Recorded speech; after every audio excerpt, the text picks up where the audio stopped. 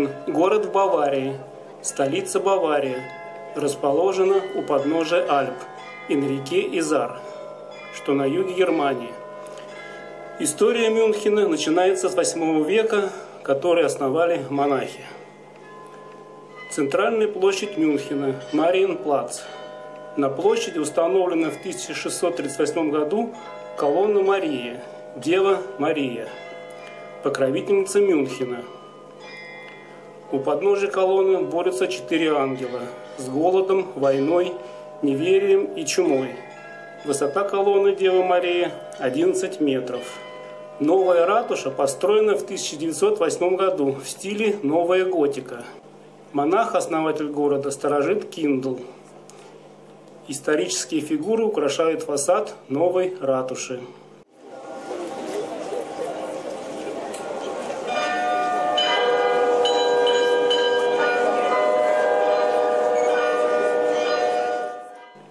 В 11 часов часы куранты разыгрывают 15-минутное представление из жизни Мюнхена. В представлении участвуют 43 ратушных колокола и 32 фигурки в человеческий рост. Мариенплац – главная достопримечательность и популярная пешеходная зона Мюнхена –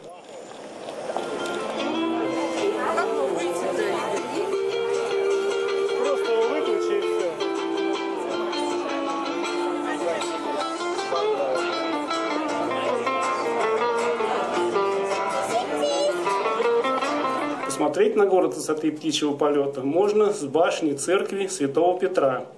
Это самый старый собор города. Вход на смотровую площадку пешком, стоимость 3 евро. В Фрауенкирхе собор Пресвятой Девы Марии. Собор построен в 1525 году. Высота Фрауенкирхи 99 метров. Вмещает 20 тысяч прихожан.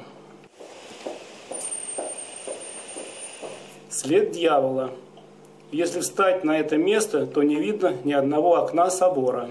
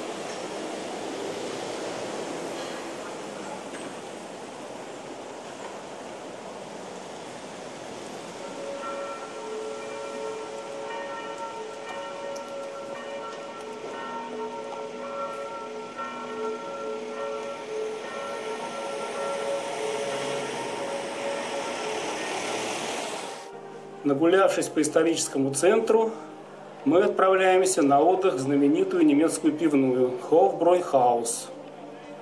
В 1589 году основан Hofbräuhaus. Прародитель Вильгельм V. Придворная пивоварня, где варили солодовое пиво до 1808 года. В 1607 году основана вторая пивоварня – где варили пшеничное пиво. Основатель Максимилиан I. С 1828 года по указу Людвига I открыт доступ в придворную пивоварню простому народу. 1879 год запатентован фирменный знак HB – Hofbräuhaus. Знак представляет собой корону и две буквы H и B 1896 году пивоварня переехала на новое место с увеличением площади до 11 тысяч квадратных метров. 22 сентября 1897 года дворец Хофбройхаус открыл свои ворота для любителей пива.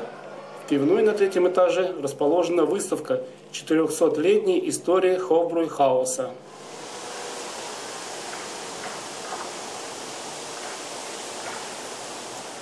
Городе очень жарко, и мы отправляемся смотреть фонтаны. Потрем нос кабану на удачу. Мюнхен славится своими достопримечательностями. Одно из них – это фонтаны. Говорят, их около тысячи. Фонтаны Мюнхена – произведение искусства, воплощенные в мрамор с бронзовыми скульптурами. Пройдемся по самым известным. Фонтан Рихарда Штрауса в честь композитора – Фонтан Брюнер Булберл или Сатир и мальчик.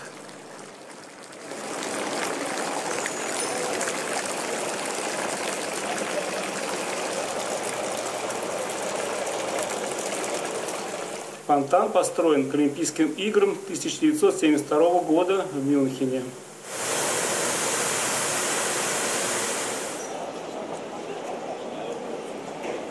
Фонтан Фишбрюнер или рыбный фонтан, самый старый фонтан Мюнхена 1343 года.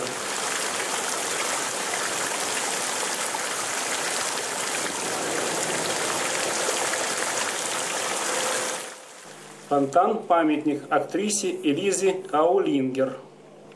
Фонтан-памятник лесничему Ройдеру Яклю, местный заводила и песенник.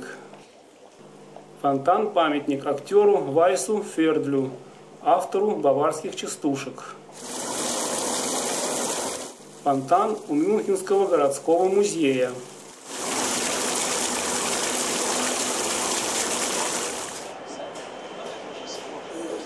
Самый популярный фонтан – Виттельсбахов. Сооружен в 1895 году. Фонтан 25 метров шириной, а высотой 4 метра. Вход в старый город украшают старинные ворота.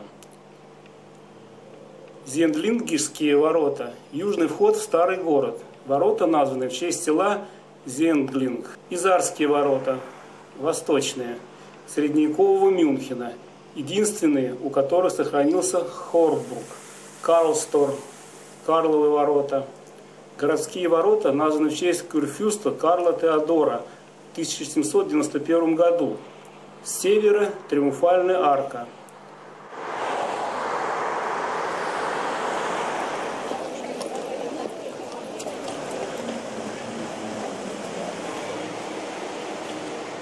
В Мюнхене много старинных церквей.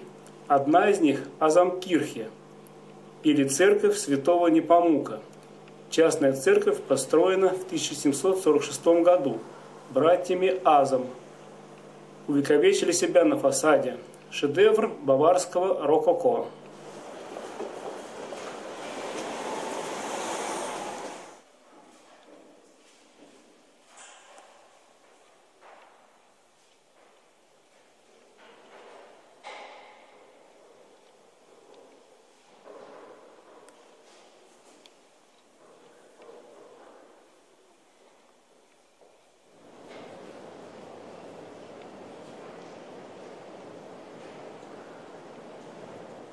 Фрауенкирхе, собор Святой Девы Марии.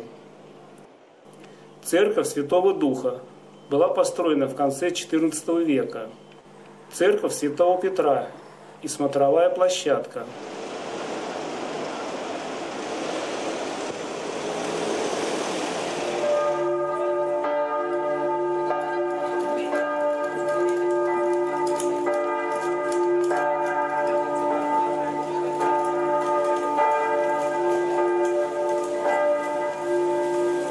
Театинер-Кирхе, построена в 1667 году в стиле итальянского барокко.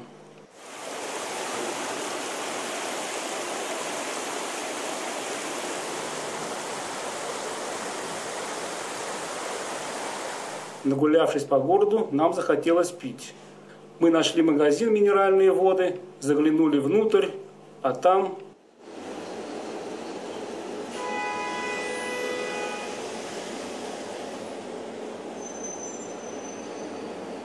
пива больше сотни сортов. Вот тебе и минеральные воды.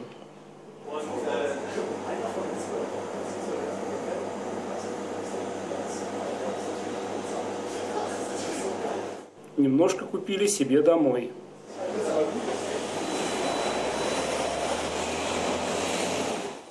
Город замечательный, нам все понравилось, хочется приехать еще раз.